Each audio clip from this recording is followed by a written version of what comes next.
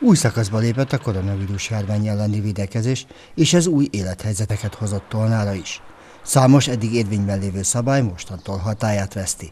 Erről beszélgettünk a Peszhafer Ágnes polgármesterrel, aki azt mondja, lassan vissza kell térni a normális élethez, de ez csak lépéstől lépésre a biztonság maximális megtartása mellett lehetséges. Én hoztam olyan döntéseket is, amire kötelezett a, a kormányrendelet korábban, és hoztam olyan döntéseket is, amik, amiket ugyan nem, ugyan nem tettek kötelezővé, de, de azért mi elővigyázatosságból mégiscsak megléptünk. Én azt gondolom, hogy most a május 4-i könnyítéseket látva, és ugye csütörtökön éjszaka jelentek meg ezek a, ezek a kormány által hozott döntések, tehát maga a kormányrendelet az csütörtökön éjszaka jelent meg, de mi május 1-én jegyzőasszonyal, alpolgármester úrral már itt a Városházán megbeszéltük azt, hogy mik azok a lehetőségek, amitől egy kicsit mi is könnyíthetnénk az itt élők életén. Azoknak a döntéseknek egy részét visszavonom, amiket korábban hoztam, ez azt jelenti, hogy a városi bölcsőd, illetve városi bölcsőde hiányában ugye mi két szervezettel működtetünk családi napközit, és a legcélra vezetőbb azt gondoltuk, hogyha nem ügyeletet tartanak, hanem lehetőséget biztosítunk számukra, hogy akár újra tudjanak nyitni. Ugye ők nem önkormányzati működtetésben dolgoznak, hanem egyesületi alapítványi formában, tehát ők fogják eldönteni, hogy a a, a, a járványügyi szabályokat nagyon szigorúan betartva, de hogy nyitják újra az ő bölcsödéiket. Tehát én visszavonom azt a határozatot, amiben szünetet rendeltem el ebben a két, ennek a két szervezet által működtetett magánbölcsödékben. A játszótereket újra nyitjuk, újra lehet használni. A játszótereket viszonylag sűrűn fertőtleníteni fogják a biztonság érdekében, de a PESZA felágnes arra kérte a szülőket, nagyszülőket, tegyenek meg ők is mindent a járványveszély elhadítása érdekében. Én azt kérem azért azoktól, akik a játszótérre viszik a gyerekeket, és, és a környezetükben, például a Zaltaripa Szabadidőparkban, a Dunaparton, töltik az időt, hogy azért azt a távolságot, ezt a másfél-két méteres távolságot azért tartsák be, tehát a gyerekek ne tömött sorokba álljanak a csúszdák és a hinták mellett, hanem, hanem egy kicsit szellősebben. Aztán döntöttem arról is, hogy a sportlétesítményeket használhatják azok, akik edzést szeretnének ott tartani. Ez azt jelenti, hogy magát a, a sporttermeket megnyitjuk, de az öltözőket és a, és a zuhanyzókat nem.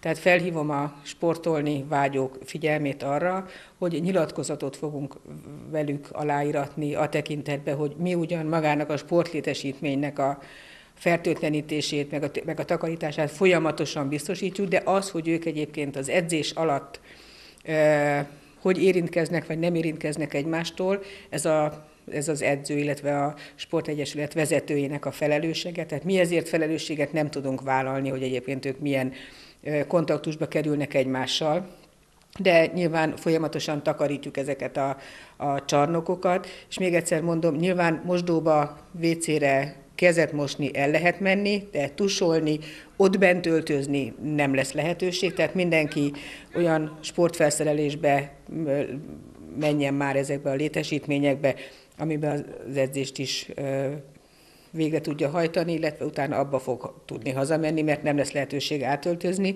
és ez vonatkozik a, a, azokra a sportlétesítményekre is, amiket egyesületek használnak, tehát itt a kajakházról és a, a városi sporttelepről van szó. Ez, ez az ő döntésük lesz, ugye ezeket kizárólagosan ők használják, hogy ők mennyire nyitják meg ezeket. Talán nem jellemző, hogy közterületeken lennének éttermek vagy cukrászdák teraszai a kormányrendelet arra ad most lehetőséget vidéken, hogy, hogy azok a vendéglátóhelyek, amik terasszal működnek, ott azok kinyithatnak. Tolnán egyetlen egy helyet bérel egy fagyizó. Most azt a rendeletet, amiben megtiltottam a közterületen lévő ételfogyasztást, árusítást, azt, azt visszavonom, tehát újra gyakorlatilag ez azt jelenti, hogy a, hogy a, a, azokat a, a szabályokat betartva egyébként, amik a kormányrendeletben vannak, tehát hogy másfél méteres távolságok, asztaltársaságok egymástól másfél métert kell tartaniuk, ezeket be kell tartaniuk, de egyébként magát azt, hogy nem lehet ott elfogyasztani a, az ételt, ezt visszavonom. Aztán döntöttem arról is, hogy azok a magánorvosi rendelések, amiket a, a város létesítményeiben, rendelőiben magánorvosok tartanak, ugye ezeket felfüggesztettük, most ők újra nyithatnak. Tudomásom szerint a, az, egész, az egészségügyi szépen lassan vissza fog indulni, de gyakorlatilag én ezt az egy döntést hoztam meg korábban, hogy a magánorvosok nem rendelhetnek, ezt a mai nappal hatályosan vissza fogom vonni, tehát azok az orvosok, akik magánrendelést végeznek itt a városban, ők folytathatják azt.